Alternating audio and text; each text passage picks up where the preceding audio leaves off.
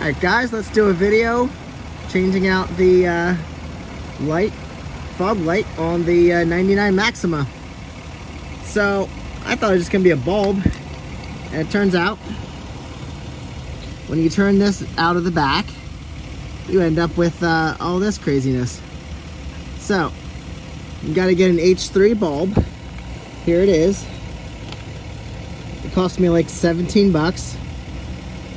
18 really, 1801 with tax. So then what you do, this bulb, bulb craziness.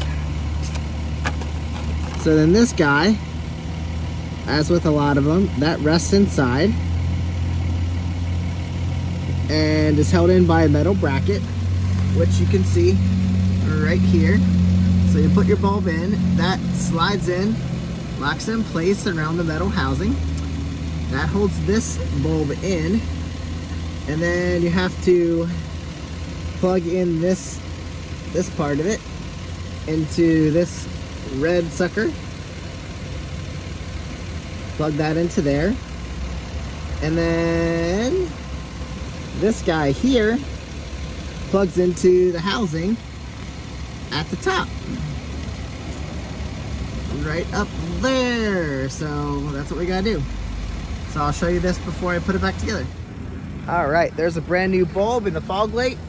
I don't have to show you it before because it just wasn't lit up. So I thought I was gonna just have a normal bulb in there, but as you saw, that wasn't just normal bulb. Let's see, I'll show you the broken bulb when I get to it. So let's give you a look at what's behind here quick. Now she's all lit up for you now. As I told you, there's a little metal clip that holds that bulb in. The bulb sits in there one way and one way only. Because there's like a, you can actually see it. Not, not, not if it's not gonna show you. In the top, there's like a little rounded point, and on the bottom, there's a little like squared off point. And then that metal clip just pops in there over the bulb and latches in. You have to kind of just bend it under. And then, like I said, you plug this one in and the other one gets plugged into the housing and that completes your circuit. And then you gotta put all that stuff in there.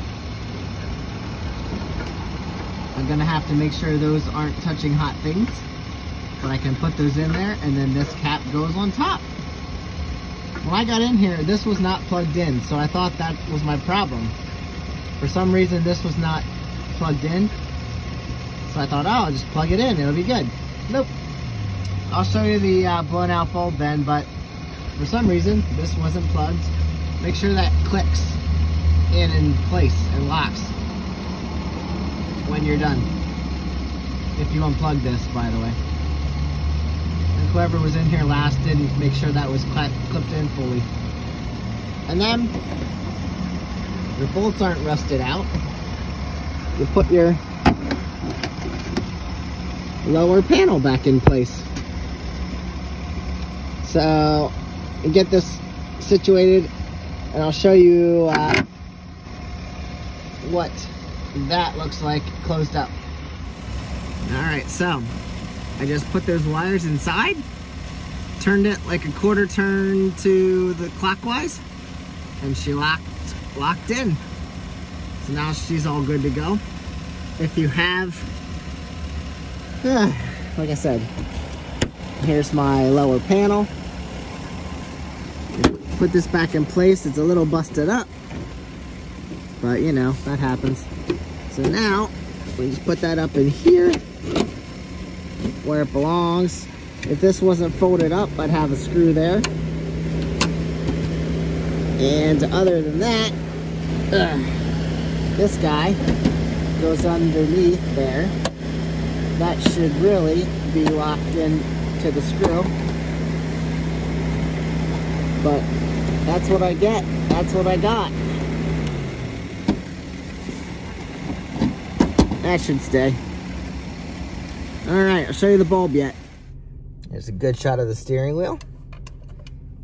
All right, here's the bulb that came out and you can see that it's just separated in there.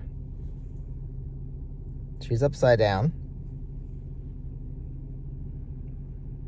There's a filament just laying in there. So this was shot for some reason. I thought I could just replace this bulb, but apparently I probably could, but it's not meant to do that. You're just supposed to replace this guy. So uh, there you go.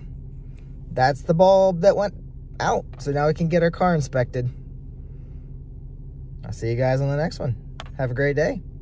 Go out and replace your bulb. Do it yourself.